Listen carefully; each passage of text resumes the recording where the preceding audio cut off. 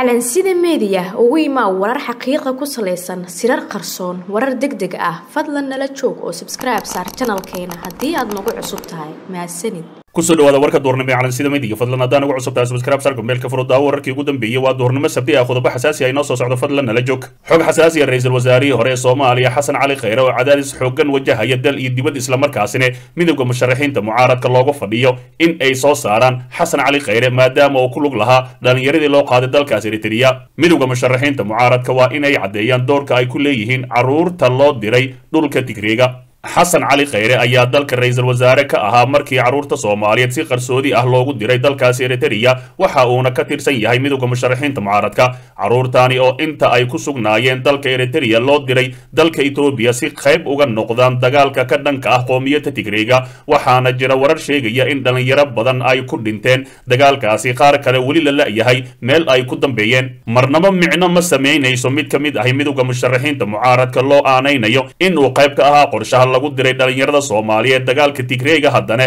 madaxda midowda musharaxiinta mucaaradka ay eedeyn u jeedinayaan farmaajo keligiis. Taasina looma baahno maxaa yeelay ninkii ka qayb qaatay ayaa garbahooda taagan. Shacabka soomaaliyeed waxa ay ka sugayaan midowda musharaxiinta mucaaradka in ay si toos ay u sheegaan mowqifkooda ku aadan doorka xasan cali kheyre ku lahaa dhibkii ku dhacay dhallinyaradii soomaaliyeed. Haddii midowda musharaxiinta ka gaabsadaan in ay si toos ay u sheegaan doorka xasan cali khayre shacabka soomaaliyeed waxa ay aaminayaan in kooxda isku sheegta midowda musharaxiinta mucaaradka ay qayb ku leeyihiin mas'uuliyadda dhallinyarada maqan iyo kuwa ku dhintay dagaalkaasi maadaama ninkii fulinta ahaa ama ra'iisul wasaare ka ahaa dalka oo iminka garbahooda taagan yahay islamarkaasina habeen kasta maalin kasta ay la fadhiyaan ayagana ay la soo taagan yihiin in madaxweynaha wakhtigiisa dhammaada farmaajo uu mas'uul ka yahay. Waa run madaxweynaha wakhtigiisa dhammaada farmaajo mas'uul ayuu ka yahay laakiin ninkii fuliyey oo arrimahaasi loo xil saaray khayre ayuu ahaa iyo wasiiradiisa haddana shacabka soomaaliyeed waxa ay uga fadhiyaan midowda musharaxiinta mucaaradka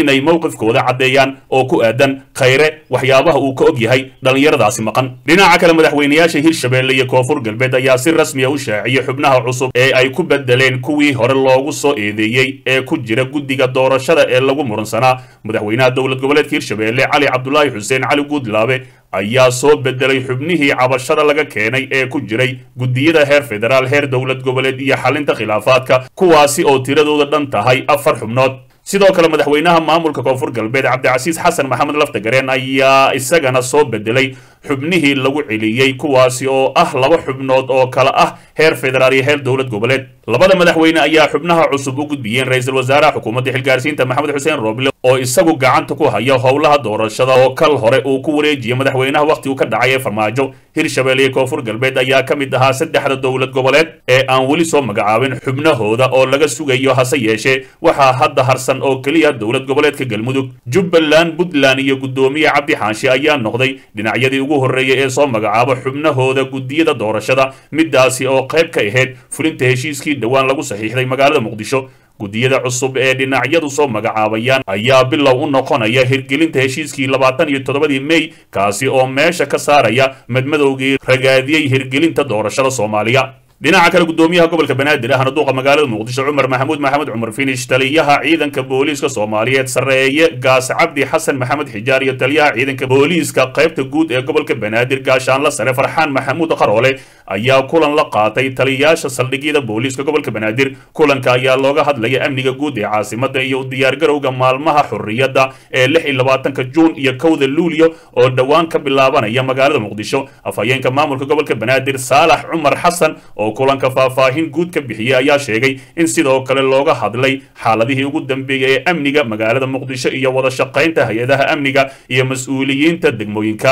Sidoo kale waxa uu sheegay in kulanka diiradda lagu saaray sidii loo joogtayn lahaa kulamada looga hadlayo amniga si loo adkeeyo amniga caasimadda ummadda soomaaliyeed. Fadlan dib u daaw wararkeenii hore ee calansida meediya xog xasaasi ah madaxweynaha wakhtigiisu dhammaaday maxamed cabdilaahi farmaajo oo dacwad culus laga gudbiyey. Waalidiintii bannaanbaxa dhigaya ayaa dacwad culus u gudbiyey xer ilaaliha guud ee qaranka. Waalidiintii ay carruurtooda kaga maqan yihiin eritrea ayaa dacwad cabasho ah u gudbiyey xeer ilaaliyaha guud ee qaranka si uu u furo baaritaan ku aadan arrintaasi. Qoraalka cabashada ah ee ay xeer ilaaliyaha guud u gudbiyeen waalidiinta oo nuqul ka mid ay heshay warbaahinta ayaa caddaynta ugu weyn ee qaadista carruurtooda dusha u saareen madaxda sare ee wakhtigu ka dhacay uu kow ka yahay farmaajo. Qoraalka oo ay ku saxiixan yihiin laba iyo toban ka mid ah waalidiinta carruurtooda askarnimada loogu qaaday eritrea ayaa waxaa lagu sheegay in dhallinyaradooda sifa sharci darro ah ee tababar loogu geeyey dalkaas eritrea. Nidaamka loo qoray carruurteenna wuxuu ahaa mid baalmarsan nidaamka sharciga ah ee qorista ciidamada dowladda maadaama uu ahaa mid lagu khiyaanay annaga iyo ubadkeena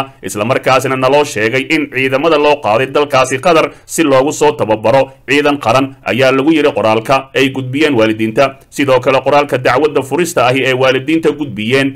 ayaa lagu sheegay in carruurtooda ay awoodi waayeen inay si xornimo leh ula soo xidhiiraan kadib markii loo diiday inay wax xidhiir ahay la sameeyaan waalidiintooda. Intii nala soo hadashay mar lama xaqiijin karo xaaladda ay ku sugan yihiin waxayna nala hadleen muddo kooban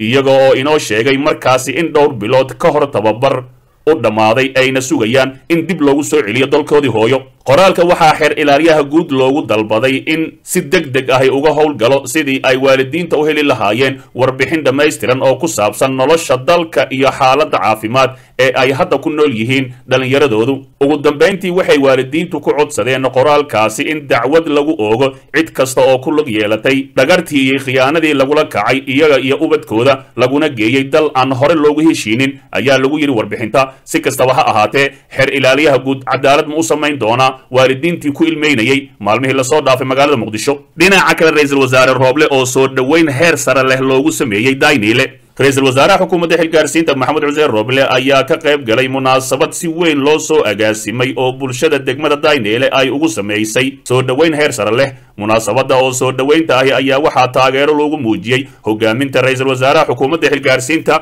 ee arrimaha doorashooyinka iyo xasilinta caasimadda ra'iisul wasaaraha oo ka hadlay munaasabadda ayaa ka mahad celiyey soo dhoweynta ay u sameeyeen bulshada degmada dayneele isagoo sheegay inaysan jirin dan gaar ahi oo uu ka leeyahay doorashada. Waxa uu ballan qaaday in si hufnaan leh oo cadaalad ahi u fulinayo doorashada la filayo inuu galo dalka wuxuuna caddeeyey in madaxweynaha wakhtigiisu dhammaaday maxamed cabdilaahi farmaajo iyo musharaxiinta mucaaradka ay u wada siman yihiin. Waan ugu mahad celinayaa bulshada dayneele soo dhoweynta iyo taageerada ay ii muujiyeen shacabka soomaaliyeed waxaan u caddaynayaa in aan dan gaar ahi ka lahayn doorashada musharaxiinta oo dhammi way ii siman yihiin waana in aan dalka gaarsiinaa doorasho. Inagoo garbaha is haysana ayuu yidhi rooble sidoo kale waxa uu carabka ku adkeeyey inay ka go'an tahay in dalka uu aado doorasho xor iyo xalaal ahi isaga oo ka fogaanaya in uu dhinac garab saaro. Ra'iisul wasaaraha ayaa muddooyinkii dambe dadaallo badan ugu jiray sidii dalka ugu dhici lahaayeen doorasho wadar ogol ah taasi oo uu dalka u jiheeyey heshiiskii labaatan iyo toddobadii mey lagu saxiixay magaalada muqdisho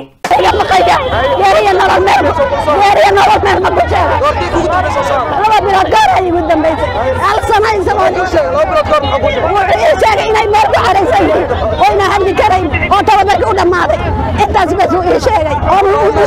uuna nool yahay waana noola way dhahay wuxuu yidhi markii tababarka ku jiray waa noolay laakiin malxalada nolo hadda ma fiicno way dhahay markii iigu dambeysay caafimaad ahaan iyo nololahaanba midna ma wuxuu yidhi xaaladda nol way cuntaa dhegaystow ogow haddaadan xalka qayb ka noqon waxaad qayb ka tahay dhibaatada dalka